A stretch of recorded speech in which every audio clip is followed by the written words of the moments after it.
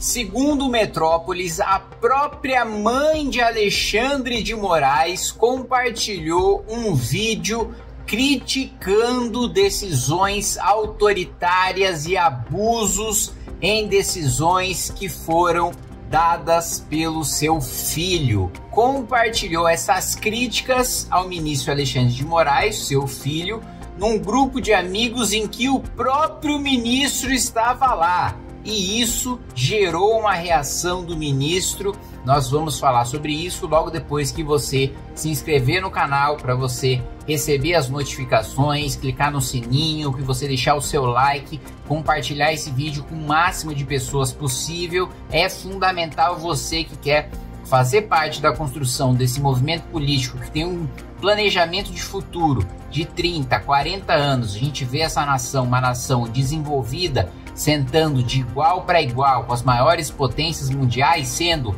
nós mesmos uma potência mundial se inscreva aí no Clube MBL e também você pode ser fundador da revista Valete no momento que você entra no Clube MBL. Bom, não é segredo para ninguém que o Supremo Tribunal Federal tem atropelado as suas prerrogativas, né, e tem tratorado, né, diversos poderes que deveriam ser restritos, privativos ali do poder executivo ou do poder legislativo mesmo o processo penal, a gente vê uh, o Supremo Tribunal Federal fazendo audiências de custódia, demorando uma semana quando o prazo é de um dia, fazendo com que um juiz, dois juízes auxiliares façam audiência de custódia de 500, de mil pessoas por Zoom, né? O que é uma coisa de assustar qualquer advogado criminalista, qualquer jurista né, em vendo um negócio desse se espanta,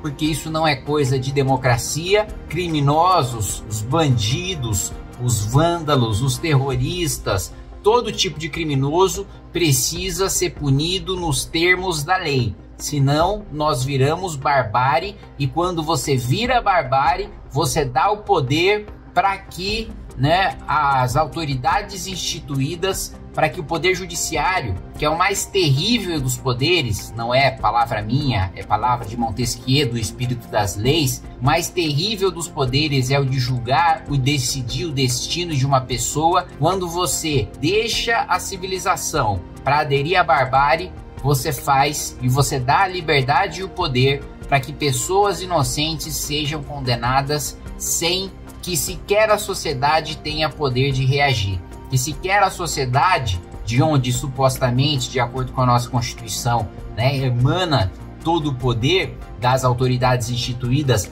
esse poder vem do povo, muitas vezes quando a gente dá a margem, quando a gente se cala para os abusos que têm acontecido agora, principalmente no âmbito do Supremo Tribunal Federal, a gente abre as portas para o autoritarismo, a gente abre as portas para o totalitarismo, a gente abre as portas para que pessoas inocentes sejam punidas e pessoas culpadas não sejam punidas. Muito bem, vamos falar então sobre o vídeo que a mãe do ministro Alexandre de Moraes compartilhou, segundo aqui a coluna do Guilherme Amado no Metrópolis ele diz o seguinte: um livro que foi publicado, o livro é chamado O Tribunal: Como o Supremo se uniu ante a ameaça autoritária, esse é o título do livro. E o livro conta uma história em que a senhora Gláucia de Almeida Moraes, mãe do ministro Alexandre de Moraes, compartilhou um vídeo de um bolsonarista e que esse bolsonarista ele utiliza aí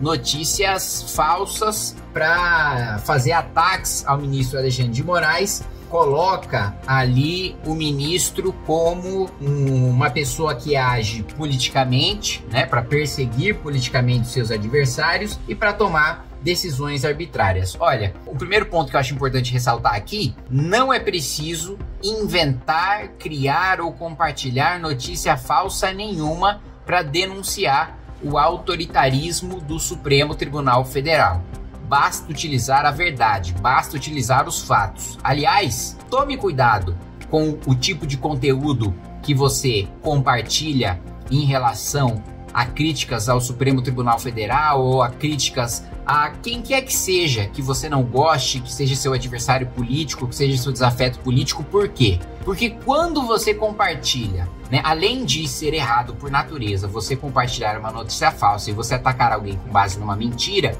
você fortalece essa pessoa que você está atacando. Porque quanto mais mentiras usam para atacar o Supremo Tribunal Federal, mais o Supremo Tribunal Federal tem poder e legitimidade de dizer que só é atacado com base em mentira. Quando na realidade, as principais acusações que se pode fazer contra o Supremo Tribunal Federal são com base em verdades, em julgamentos concretos, como o inquérito do fim do mundo, o inquérito aberto de ofício, né, ilegalmente, inconstitucionalmente, né, pela então presidência do Supremo Tribunal Federal e que se mantém até hoje. Um inquérito que, na realidade, né, pela sua própria natureza, deveria investigar passado, hoje investiga futuro. Eu estou dizendo tudo isso porque aqui na notícia está dizendo que o vídeo tinha notícias falsas para atacar o STF. E isso enfraquece aqueles que fazem uma luta né, dura e correta contra os abusos do STF, porque aí o STF utiliza uma série de exemplos de notícias falsas que são compartilhadas sobre eles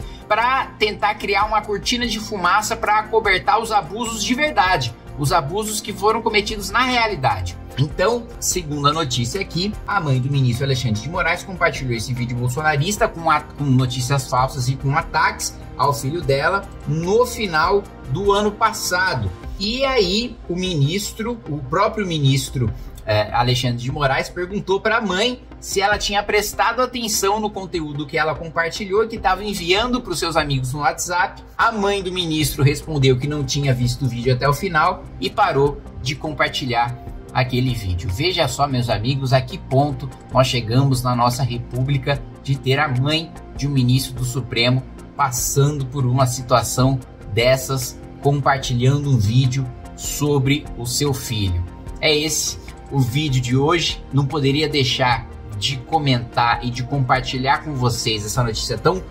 curiosa, né? Porque não é todo dia, como eu disse para vocês, eu não me lembro de nenhum outro caso de mãe de ministro do Supremo compartilhando ataques contra o próprio filho, né? Então, tá aí, gente, o vídeo de hoje aí. Um abraço para vocês e até mais. E se você também quiser acompanhar o meu canal de games, o Cata Games, se você quiser ver um Dotinha, um Diablo, um Call of Duty, não, sou uma máquina de matar. Entra aí no Cata Games para você ver aquelas gameplays das mais criminosas possíveis. Sabe daquela em que o Supremo me prende em flagrante? É lá na nossa Twitch e também no canal Cata Games que você vai encontrar. Pessoal, é fundamental para você que acredita, que segue, que tem os nossos valores e princípios do Movimento Brasil Livre, que você entre no Clube MBL, não só para ter acesso a todas as vantagens do clube, mas principalmente para apoiar o grande projeto que nós temos para o nosso país e vocês sabem de que projeto eu estou falando. É só você clicar aqui nesse link que você vai poder ajudar o MBL e vai poder fazer parte dessa luta.